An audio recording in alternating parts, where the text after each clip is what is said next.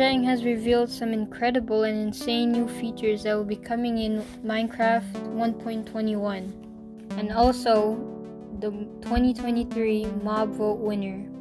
So what's up guys and in today's video I will be giving you a full breakdown of all the new features and stuff that were highlighted in Minecraft Live 2023.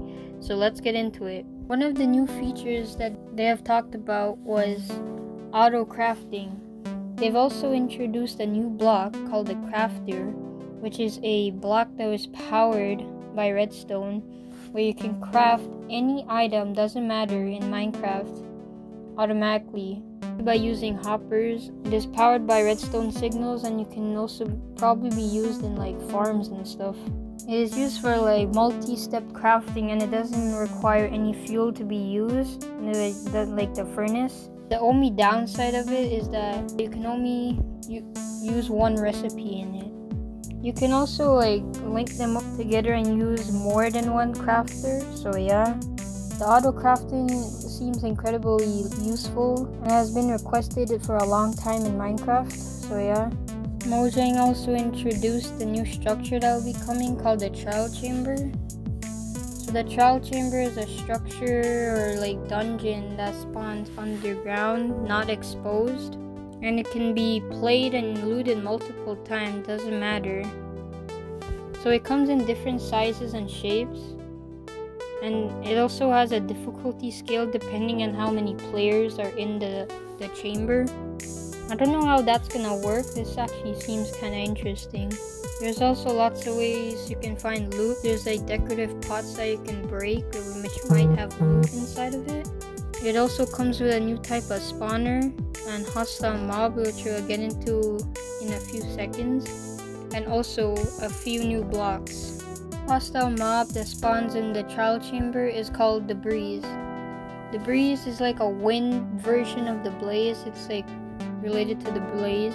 So it shoots like a wind ball that explodes on impact and it has like a really high knockback. And the wind ball that it shoots, it can also activate redstone. It can, it can actually act like a redstone signals like you can power this redstone lamp as they showed here and also open trap doors but we don't know what what the mob what it drops yet so that's kind of unknown right now also guys this is not all the features that are going to be in 1.21 there's there's still probably a lot more to come there's also a new type of spawner called the trial spawner that can be found in the trial chamber when one or more player gets nearby, it, it will summon like random hostile mobs.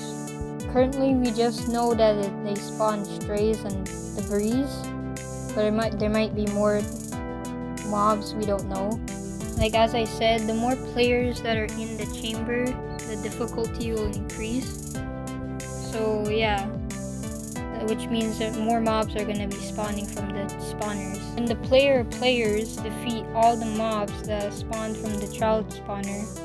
The trial spawner will like shoot out loot, random loot like emeralds, diamonds, iron, whatever. It also depends, like if there's like one player in the chamber, it will shoot out one pile of loot. Let's say if there's 10 players, in the chamber, it will the, spawn will shoot out 10 piles of loot, which is actually kind of interesting. All we know is that they award you with emeralds and diamonds. There might be other stuff as well that we don't know. Spawner is also blast proof and it is also pretty hard to mine like obsidian. I mean, there's no reason to even break it in the first place because it doesn't drop or do anything after it's broken. We actually don't know the limit of it yet, so yeah. There's also new blocks that can be found in the trial chamber. So we have new tuff bricks, tuff slabs, tuff walls, tuff stairs, and I think polished tuff. That's all we know right now. We also have new copper blocks. We have like these copper grates, which can also be oxidized. We also have copper doors, which is all cool. We also have this block over here, and I think that's it's co chiseled copper blocks. And we also have copper trap doors.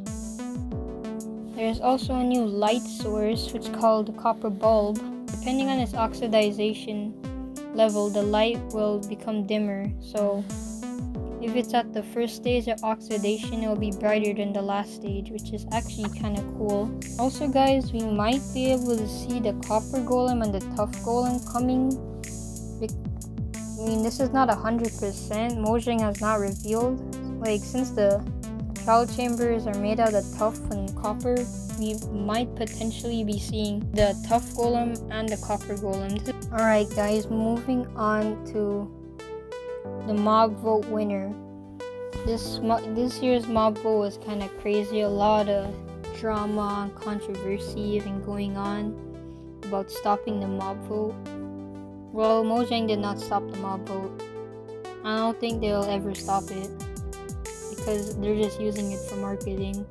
The mob that won the mob vote was the armadillo. A lot of people are saying it was rigged. I mean, I don't think it was. I just think people are just people like really want Wolf Armor for some reason. I don't know why. I mean, I guess that's their opinion. I mean, I guess Rip the Crab and the Penguin. We'll never be able to see them. Maybe. I don't know. And that's it for today, guys. I hope you enjoyed. Have a great day. And bye.